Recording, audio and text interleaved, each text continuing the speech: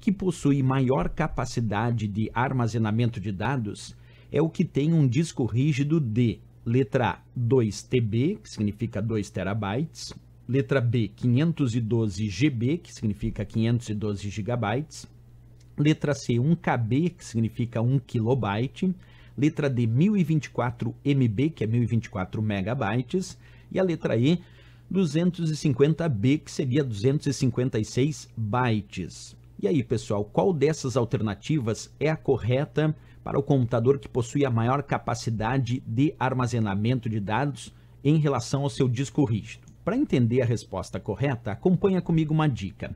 Quando nós falamos em kilobyte, um kilobyte significa aproximadamente mil bytes. Mas de forma precisa ele é representado por 2 na 10, então significa que um kilobyte é aproximadamente mil bytes, mas de forma precisa é 1024 bytes. Mas é sempre bom lembrar para efeito das provas que quilo significa mil, e aí sabemos que um kilobyte é aproximadamente mil bytes. Nós temos também, logo depois do quilo, o mega. Mega significa milhões, portanto, um megabyte significa aproximadamente um milhão de bytes. De forma precisa, é representado por 2 na 20, e aí um megabyte precisamente é 1 milhão 48.576 bytes, mas aproximadamente um milhão de bytes, para efeito de provas, pode ficar aí com valor aproximado que a gente consegue resolver a questão.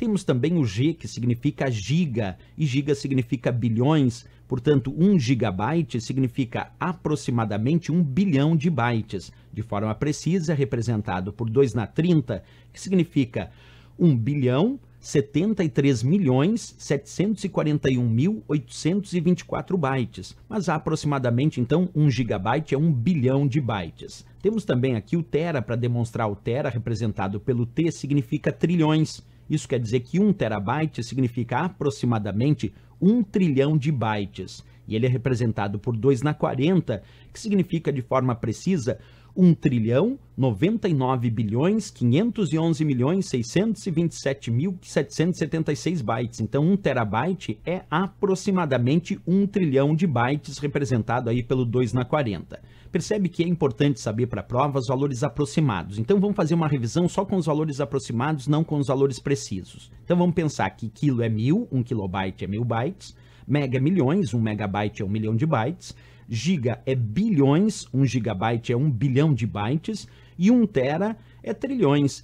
1 terabyte significa 1 trilhão de bytes, tudo isso aproximadamente. Mas percebe que com os valores aproximados a gente consegue responder. Sempre lembra então, KMGT, quilo, mega, giga e tera. Quilo é mil, mega milhões, giga bilhões e tera é trilhões. Acompanhe então comigo como fica a resposta da questão. Ele pediu o computador que possui maior capacidade de armazenamento de dados e que tem um disco rígido de, bem, 2 TB é 2 tera, tera é trilhões. Então a letra A está indicando 2 trilhões de bytes, é muita coisa. A letra B está indicando 512 GB, que significa 512 bilhões. Mas 512 bilhões é menor que 2 trilhões. Por enquanto a letra A está vencendo. A letra C disse 1 KB.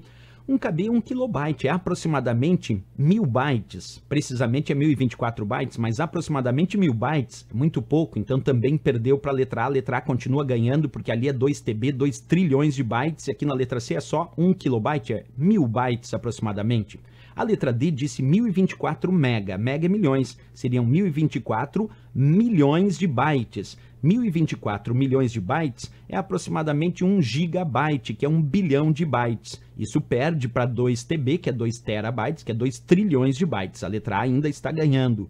E a última, que é a letra E, disse 256B, que significa 256 bytes. Mas 256 bytes é muito pouco. E é claro que perde para os 2 TB, os 2 terabytes, os 2 trilhões de bytes que a letra A indicou. Então, sem dúvida nenhuma, a resposta aqui é a nossa letra A de América, porque 2 TB significa 2 terabytes, é 2 trilhões de bytes aproximadamente. Portanto, era o maior valor que tínhamos indicado aqui, era de fato o da letra A de América, sem dúvida nenhuma. Questão interessante aí, tem que saber aí a ideia então de quilo, mega, giga e tera. Quilo é mil aproximadamente, Mega é milhões, giga é bilhões e tera é trilhões. Isso aproximadamente que a gente já consegue resolver boa parte das questões sobre esse assunto, certo? A de